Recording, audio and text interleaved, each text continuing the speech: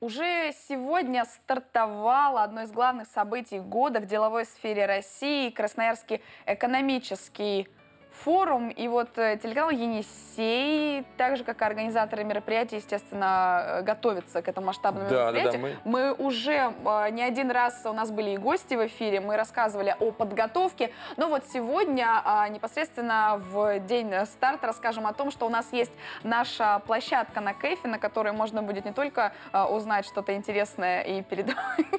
И, конечно же, познакомиться, лично с. Ксенией Кощеей, которая прямо сейчас появится на ваших экранах и расскажет о том, что вообще можно будет пронаблюдать и на нашей площадке, и, в принципе, на кайфе. Доброе утро. Доброе утро.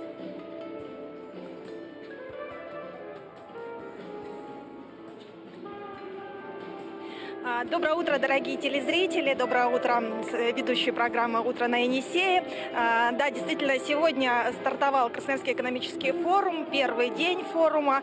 А, Несмотря на то, что до пленарного, до заседаний, до работы круглых столов остается э, больше часа, здесь достаточно оживленно, а, собираются гости. А, Первый день форума посвящен экологической, а, молодежный день форума посвящен экологической теме. И сегодня а, на КЭФе по традиции работает а, сразу две площадки а, нашего телеканала. Это а, выездная мобильная студия. Э, Здесь мы будем записывать спикеров, основных участников Красноярского экономического форума. Сегодня ожидаем э, уже гостей. Ну и еще один павильон, который у нас здесь работает, это переговорная. Собственно, по традиции мы опять же будем здесь презентовывать проекты э, телеканала, наши бол- большие общеканальные проекты, которые мы реализуем. Э, Речь идет о проекте «Наши дети» и автопробеге Красноярск-Северный Кавказ, автокрасноярцы. А Еще из э, таких особенностей для канала впервые в этом году на форуме э, в качестве волонтера на нашей площадке с презентацией проекта «Наши дети» присутствует участник проекта «Наши дети» Руслан Сайфулин. А, Руслан, расскажи, э, что для тебя сегодняшнее событие, что, что, что- волнуешься, я знаю точно, а, но я знаю, что это для тебя не первое волонтерское большое мероприятие. Как ты готовился, хорошо ли спал, что ждешь? Да, я, конечно, спал хорошо. Жду я, ну, как бы, как бы, правде, новых знакомств, новых, как бы, ощущений, как бы, ну, охота кому-то помочь, что-то сделать, как бы, ну, и у меня ожидания просто, я весь на эмоциях, сейчас будут приезжать люди, как бы, и вот так. Руслан, я знаю, что ты был у нас э, в Алматы, собственно, на церемонии от- открытия, присутствовал на некоторых играх э, в качестве, правда, не волонтера, а участника, но один из участников проекта у нас был волонтером, это Сергей Романьков, ты с ним позже уже общался. А, Расскажи, у тебя как-то изменились представления о том, кто такой волонтер?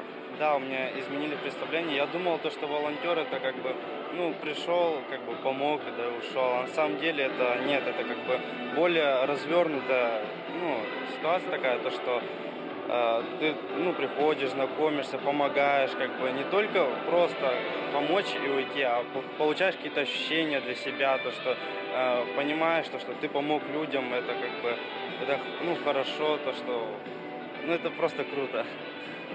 Спасибо, Руслан. Ну, э, я, наверное, еще скажу о том, что э, два проекта мы презентуем сегодня в рамках нашей выездной студии переговорной. Это проект «Наши дети» и проект «Автокрасноярцы». О них мы вам уже частично начали рассказывать в эфире. А, Проект «Автокрасноярцы» — это автопробег Красноярск-Северный Кавказ. Э, С этим проектом мы стартуем э, в июне этого года. Приглашаем всех желающих присоединиться. Сегодня будем рассказывать о проекте подробно участникам Красноярского экономического форума и гостям, которые э, приехали в Красноярск, чтобы принять участие э, в этом большом э, мероприятии деловом. Э, Мы, безусловно, расскажем о работе нашего канала э, и будем приглашать всех поучаствовать непосредственно в проекте. Ну и проект «Наши дети» – это проект э, который направлен на работу с ребятами из детских домов Красноярского края. А, Проект, который канал реализует уже четвертый год подряд. А, Два года назад мы немножко переформатировались, и основной ключевой э, целью проекта стала соци- социализация а, подростков, и канал мечтает сделать из них волонтеров Универсиады 2019. А, Это у нас получается, потому что а, вот мы уже с Русланом разговаривали а, о том, что в Алматы а, у нас был участник проекта, который работал волонтером на Универсиаде 2017. А, Я думаю, что все лучшее впереди. Обязательно будем вам рассказывать о том, как проходит Красноярский экономический форум и как работают наши площадки. На этом у меня все. Спасибо за внимание.